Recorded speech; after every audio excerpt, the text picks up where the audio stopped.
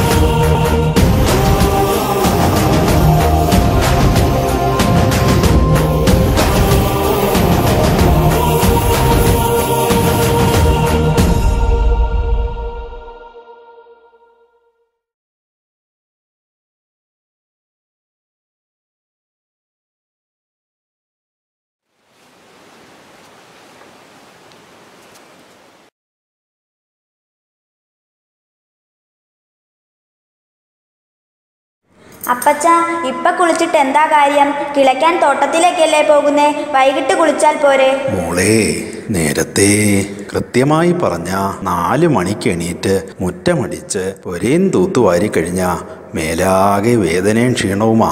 ഒരു കുളി കഴിഞ്ഞാലേ മമ്മട്ടി പിടിക്കാൻ ഒരു രസമുള്ളൂ. ഇല്ലാച്ചാ കഴപ്പ് പിടിക്കും. നാളെ സാധനങ്ങൾ വാങ്ങാൻ പോണം. പകുതി കടം പറയണം. അപ്പച്ചൻ പോവില്ലേ? മറന്നിട്ടില്ല. കടം പറയേണ്ടി വരും. നാളെ തന്നെ പോണം. ഞാനും വരാം അപ്പച്ച. പോന്നോ? ഏ? പോന്നോന്നേ.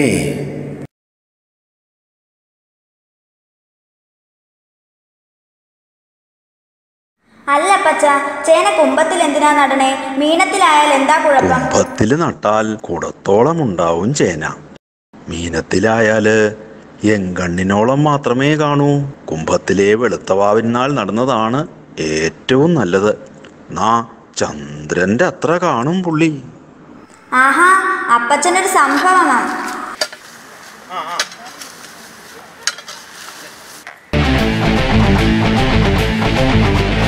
ചായോ? എന്നതാടാവേ ഈ വഴിയൊക്കെ മറന്നോ വിൻസാ? നിങ്ങൾ യുവജന പ്രസ്ഥാനത്തിന്റെ പോരാളികളാ. നിങ്ങൾ ആരോടാ ഈ പരാതി പറഞ്ഞേ എന്നോട് പറ ഞാൻ ശരിയാക്കി തരാം. ഓഹോ നീ ശരിയാക്കുമോ എന്റെ പശു ഈടയായി ചാണം ഇടുന്നില്ല. എന്താ കുഴപ്പം നോക്കൂ. വേറെന്തെങ്കിലും കുഴപ്പമുണ്ടെങ്കിൽ പറ. എന്റെ കോടാലി. അയ്യോ വേണ്ട. ഉവ്വ. നിന്റെ മുകളിലുള്ള കുറെ നേതാക്കന്മാരുണ്ടല്ലോ. അവറ്റകൾ വോട്ട് ചോദിച്ചു വരുമ്പോ ഇരം പറയണ വർത്തമാനമാ നീയാ പറഞ്ഞേ. ശരിയാക്കി തരാം. ജയിച്ചു കഴിഞ്ഞാലാ. ഏഹ്. ചുമ്മാ. നമ്മൾ സഹായിക്കുന്നുണ്ടല്ലോ. പിന്നെന്താ?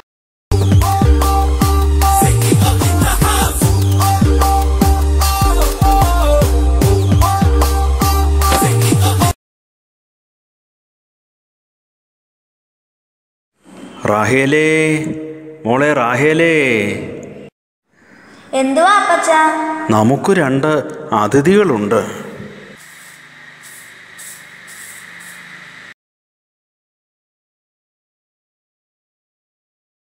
വേണ്ട ഞങ്ങൾക്ക് ഇവിടെ ഇരിക്കണമെന്നില്ല. എത്ര വാഴകളുണ്ട് ഇവിടെ?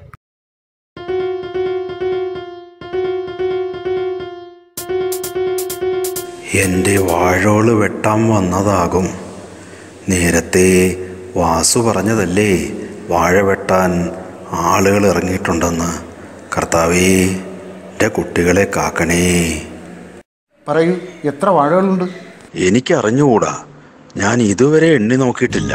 ഇത്രയും വാഴകളുണ്ട്. ഇതാണ് എന്റെയും എന്റെ കുടുംബത്തിന്റെ ആധാരം. ഞങ്ങളുടെ അന്നേപ്പം ഹോ അന്നേപ്പം എടോ വാഴ വെട്ടാൻ ഓർഡർ പാസ്സാക്കിയ കാര്യം തനിക്ക് അറിഞ്ഞുകൂടെ ഈ വാഴകളെല്ലാം ഉടൻ തന്നെ വെട്ടണം. അതിന് രോഗമുള്ള വാഴകളല്ലേ വെട്ടേണ്ടത്? ഇതിന് രോഗമില്ലെന്ന് തനിക്ക് എങ്ങനെ അറിയാം? താനാണോ ഇതൊക്കെ തീരുമാനിക്കുന്നത്? ഇതിന് രോഗമൊന്നുമില്ലെന്ന് എനിക്കറിയാം. ഞാനൊരു കർഷകനല്ലേ. പത്ത് നാൽപ്പത്തിയെട്ട് കൊല്ലമായി തൂമ്പാകുണ്ടി മണ്ണിൽ കിളയ്ക്കാൻ തുടങ്ങിയിട്ട്. രോഗമുള്ളത് ഞങ്ങൾക്ക് തിരിച്ചറിയാം. ഡോ തന്റെ വകുപ്പും ചട്ടവും ഒന്നും പറയണ്ട. ഇതൊക്കെ രോഗബാധിത സ്ഥലങ്ങളാണ്. ഇത് ഗവൺമെന്റിന്റെ ഓർഡറാണ്. താൻ ഈ ഗസറ്റ് നോക്ക്. അയ്യോ അതെന്തോ ഈ ഗജറ്റ്? എടോ ഗജറ്റ് അല്ല ഗസറ്റ്. എന്നെ എവിടെ? ഇതിനു മുമ്പ് താൻ കേട്ടിട്ടില്ലടോ. കർത്താവാണ് ഞാൻ കേട്ടിട്ടില്ല സാറേ. ഇത് വായിച്ചു നോക്ക് സർക്കാർ വകയാ. അത് ചുമ്മാ കിട്ടുന്നതാണോ അതെ ചുമ്മാ ഇയാൾ എവിടെ നിന്ന് വരുന്നത്? സാറേ ഞാനൊരു സാധാരണക്കാരനാണ്. നിങ്ങളെപ്പോലെ അത്ര പഠിപ്പൊന്നും എനിക്കില്ല. ഈ വാഴകളാണ് എന്റെ ലോകം. അതിനപ്പുറം ഈ ലോകത്ത് എന്താ നടക്കണേന്ന് പോലും അറിയാൻ സമയമില്ല. പറഞ്ഞ പോലെ കേൾക്കണം. മനസ്സിലായോ? ഇല്ലെങ്കിൽ ഞങ്ങളുടെ ആൾക്കാരൊന്നും ഈ വാഴയെല്ലാം വെട്ടിക്കളയും. അതിന് തന്റെ പൈസ മേടിക്കുകയും ചെയ്യും. മനസ്സിലായടോ? സർക്കാരിനോട് കളിക്കാൻ ഒരുത്തനും വളർന്നിട്ടില്ല ഒരുത്തനും. സർക്കാരിനോട് കളിക്കാൻ എന്നെ കൊണ്ട് പറ്റൂല സാറേ. എന്നാ പിന്നെ രോഗം വന്ന മനുഷ്യരെയൊക്കെ നിങ്ങൾക്കങ്ങ് വെട്ടിക്കൊന്ന് കളഞ്ഞാ പോരെ. പിന്നെന്തിനാ ഈ ആശുപത്രിയൊക്കെ? പൊറുക്കണം. ഈ പാവപ്പെട്ടവന്റെ അറിവില്ലായ്മ പൊറുക്കണം. ഒരച്ഛന്റെ മുമ്പിൽ വച്ച് മക്കളെ കൊല്ലണമെന്ന് പറയുമ്പോ ചങ്ക് പിടയും സാറേ. അതുകൊണ്ടാ. നാളെ രാവിലെ തന്നെ ഇതെല്ലാം വെട്ടിക്കൊള്ളണം. ഇല്ലെങ്കിൽ ഈ തോട്ടൊക്കെ ഞാൻ കത്തിക്കും. ആ വരണം വരണം. നമസ്കാരം സാറേ. ആ ഇരിക്കിരിക്കെ ഞാൻ എന്റെ സ്ഥലത്തിന്റെ കാര്യം പറയാൻ വന്നതാ. എന്റെ വാഴകൾ വെട്ടണമെന്ന് ഇന്ന് രണ്ട് ഓഫീസർമാർ വന്ന് പറഞ്ഞു. ഞാൻ എന്താ ചെയ്യേണ്ടത്? വെട്ടണമെന്ന് പറഞ്ഞാൽ വെട്ടണം. അതിന് ഇവിടം വരെ വരെ കണ്ട കാര്യമില്ലായിരുന്നു. എനിക്കതിന് കഴിയില്ല സാറേ. ആഹാ. സാർ എന്നെ സഹായിക്കണം. നടക്കില്ല. സാർ. എണീക്കടാ. ഡാ മോഹനേഷൻ എന്നെ വിളിച്ചു. ഈ വരവ് ഞാൻ പ്രതീക്ഷിച്ചതാ. വെട്ടണമെന്ന് പറഞ്ഞാൽ വെട്ടണം. അല്ലാതെ വലിയ മേധാവിയാവാൻ നോക്കിയാ ഒടിച്ചു മടക്കി പറമ്പിൽ തന്നെ വെട്ടി മൂടും. സാറും അതേടാ മഴയത്തും വെയിലത്തും നനഞ്ഞും വിയർത്തും വോട്ട് ചോദിക്കാൻ വന്നത് നിന്റെ മറ്റെടുത്ത ആവശ്യങ്ങൾ നടത്താനല്ല. ഈ കസേര എനിക്ക് അധികാര അധികാരം. അഞ്ചു കൊല്ലം ഈ കസേര ഇരുന്ന് സൂഹിക്കാൻ ഇത്തിരി വേലത്തരമൊക്കെ വേണം. സർക്കാർ ഓർഡർ പാലിക്കാൻ തന്നെ വീട്ടിൽ വന്ന് ഞാൻ പഠിപ്പിക്കാം. മര്യാദയ്ക്ക് നാളെ വാഴകളെല്ലാം വെട്ടിയില്ലെങ്കിൽ താൻ പിന്നെ ഈ പുറം ലോകം കാണില്ല.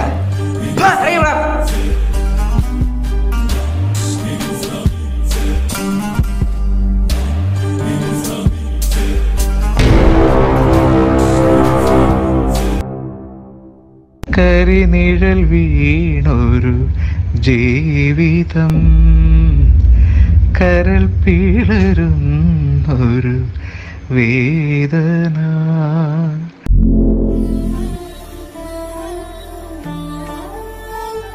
എന്താടാ വർഗീസേ? ഇച്ചായ അവന്മാരുന്ന് ഇങ്ങോട്ടാ. ഈ വാഴകളെല്ലാം വെട്ടിക്കോ.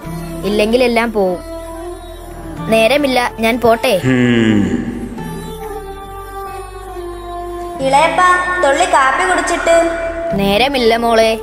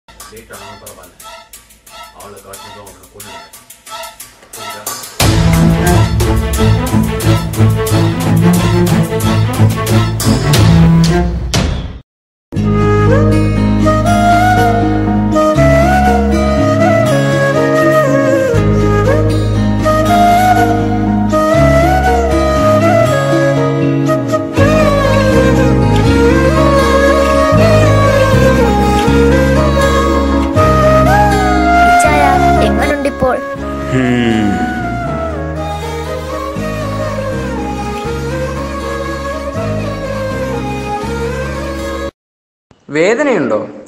കാലിൽ കുറച്ച് ആഴത്തിലുള്ള മുറിവ് പറ്റിയിട്ടുണ്ട്. സ്റ്റിച്ചിടേണ്ടി വരും. പിന്നെ കാലിൽ കൊണ്ട വെട്ടുകത്തി തുരുമ്പിച്ചതാണോ? അതെ. മുപ്പത്താറ് കൊല്ലത്തെ പഴക്കമുണ്ടോ ഡോക്ടറെ? വേറെ വാങ്ങാൻ നിവൃത്തിയില്ല. റെസ്റ്റ് എടുത്തോളൂ. പറ്റുമെങ്കിൽ മറ്റന്നാൾ തന്നെ ഡിസ്ചാർജ് ചെയ്യും.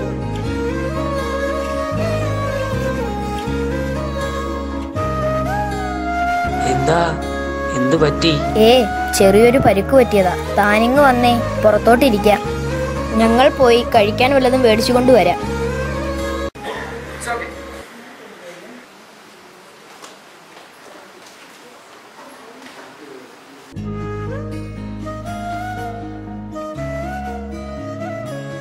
ഈ മരുന്നിവിടെ വെച്ചിട്ടുണ്ട്. ആഹാരത്തിന് ശേഷം എടുത്ത് കഴിക്കണേ. അധികം സ്ട്രെയിൻ എടുക്കണ്ട. അനങ്ങാതെ കിടന്നോളൂ. മോളെ നാളെ ആ ദുഷ്ടന്മാർ നമ്മുടെ വാഴകളെല്ലാം വെട്ടും. ഒപ്പം എന്റെ മരങ്ങളും. അവസാനമായി പറമ്പീന്ന് എനിക്കൊരു കരിക്ക് കുടിച്ചാൽ കൊള്ളാവുന്നുണ്ട്. നീ പോയി ഒന്ന് കൊണ്ടുപോവാ മോളെ. അപ്പച്ചന് കരികിനായി ചെന്ന റാഹിയിൽ കണ്ട കാഴ്ച മറ്റൊന്നായിരുന്നു. വെട്ടിയിട്ട വാഴകൾ. തന്റെ സഹോദരങ്ങളെ വെട്ടിയ ആ ഭരണകൂടത്തിന് നേരെ അവൾ ആഞ്ഞു ഗർജിച്ചു എന്റെ അപ്പച്ചനുണ്ടോ രോഗം? താൻ എന്നെയും എന്റെ അപ്പച്ചനെയും എന്റെ കുടുംബത്തെയും വെട്ടിക്കോ. വെട്ടേണ്ട വാഴകൾ വെട്ടേണ്ട സമയത്ത് വെട്ടിയിരിക്കും. ഇല്ലെങ്കിൽ നീ കാണില്ല.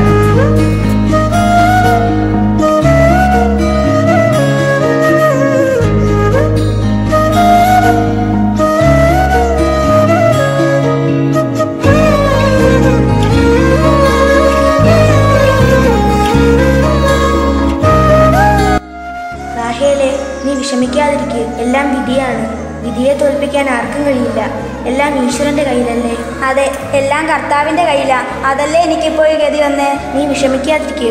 എല്ലാത്തിനും ഒരു വഴിയുണ്ടാകും. എന്റെ അപ്പച്ചനോട് ഞാൻ ഈ വിവരം എങ്ങനെ പറയും? നീ ധൈര്യം കൈവിടാതെ. നീ വേണം നിന്റെ അപ്പച്ചന് ധൈര്യം കൊടുക്കാൻ. വാറാഹേലെ എന്റെ വീട്ടിലേക്ക് പോകാം.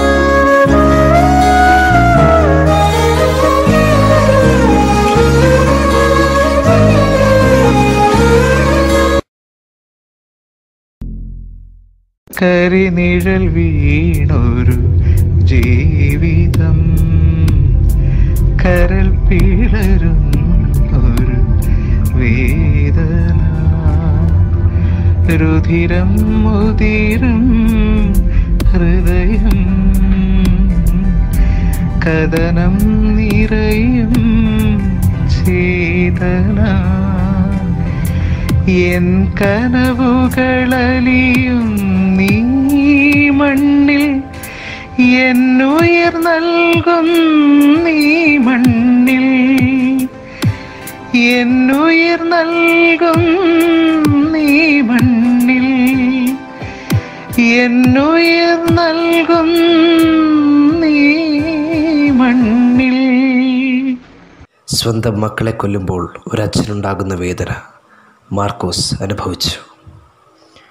ആ അനുഭവം ഇനി ലോകത്തൊരു കർഷകനും അല്ല ഒരച്ഛനും ഉണ്ടാവല്ലേ എന്ന് ഈശ്വരനോട് പ്രാർത്ഥിക്കുന്നു.